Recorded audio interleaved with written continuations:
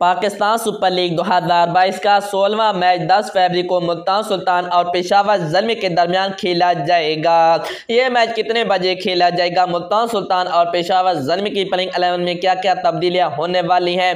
आज हम आपको इस वीडियो में बताने जा रहे हैं तो इस वीडियो को आखिर तक ज़रूर देखिएगा। इस वीडियो में आगे बढ़ने से पहले इस वीडियो को लाइक और चैनल को ज़रूर सब्सक्राइब कीजिएगा। पाकिस्तान सुपर लीग दो हज़ार बाईस के पंद्रह मैचेज हो चुके हैं और पंद्रह मैचेज कराची में हुई हैं। है। अब पंद्रह मैच के बाद फाइनल मैच तक लाहौर में मैचेस खेले जाएँगे।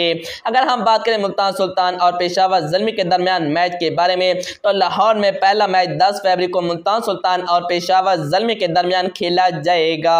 ये मैच पाकिस्तानी वक्त के मुताबिक रात को साढ़े सात बजे खेला जाएगा। अगर हम बात करें मुल्तान सुल्तान और पेशावर जलमी के पॉइंट टेबल के बारे में तो मुल्तान सुल्तान की टीम पहले नंबर पर है, जिन्होंने पाँच मैच में पाँच जीते, दस पॉइंट्स हैं। जबकि पेशावर जलमी की टीम चौथे नंबर पर है, जिन्होंने पाँच मैच में दो जीते, तीन हारे, चार पॉइंट्स हैं। अगर हम बात करें दोनों टीमों की प्लेइंग अलेवन के बारे में तो उससे पहले मैं आपको बताता चलूँ कि मुल्तान सुल्तान और पेशावर जलमी के दरमियान पी एस एल दो हज़ार बाईस में भी एक मैच खेला जा चुका है, जिसमें मुल्तान सुल्तान ने पेशावर जलमी को सत्तावन रन से शिकस्त दी थी। मुल्तान सुल्तान ने तीन विकेटों के नुकसान पर दो सौ बाईस रन स्कोर किए थे। जवाब में पेशावर जलमी की टीम सिर्फ़ एक सौ पैंसठ रन स्कोर किए थे। मोहम्मद रिजवान ने उस मैच में सबसे ज़्यादा बयासी रन स्कोर किए थे। अगर हम बात करें दोनों टीमों की प्लेइंग अलेवन के बारे में तो उससे पहले आप कमेंट करके ज़रूर बताइएगा कि पेशावर जलमी मैच जीतेगा या मुल्तान सुल्तान। मुल्तान सुल्तान की प्लेइंग अलेवन में मोहम्मद रिजवान इनिंग का आगाज़ करेंगे। उनका साथ देने दूसरे अपना के तौर पर शान मसून। नंबर तीन पोजीशन के लिए सोहेब मकसून। नंबर चार पोजीशन के लिए जोहान चालत। नंबर पाँच पोजिशन के लिए टिम डेविड। नंबर छः पोजिशन के लिए खुश दिल शाह।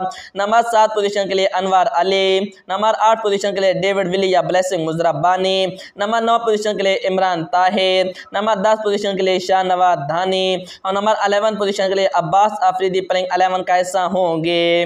अगर हम बात करें पेशावर जम की प्लेइंग अलेवन के बारे में तो इन्हीं का आगाज़ करेंगे हजरतुल्लाजई उनका साथ देने दूसरे ओपनर के तौर पर wicket keeper Kamran Akmal number तीन पोजीशन के लिए हैदर अली। नंबर चार पोजीशन के लिए लियाम लिविंग सटोन नंबर पाँच पोजीशन के लिए शुएब मलिक। नंबर छः पोजीशन के लिए हुसैन तलत या अरशद इकबाल। या सलमान इरशाद। नंबर सात पोजीशन के लिए शरफानी रेदरफोर्ड नंबर आठ पोजीशन के लिए वहाब रियाद। नंबर नौ पोजीशन के लिए फास्ट पलासा के महमूद। नंबर दस पोजीशन के लिए उस्मान कादिर। और नंबर अलेवन पोजीशन के लिए मोहम्मद उमर पलिंग अलेवन का हिस्सा होंगे।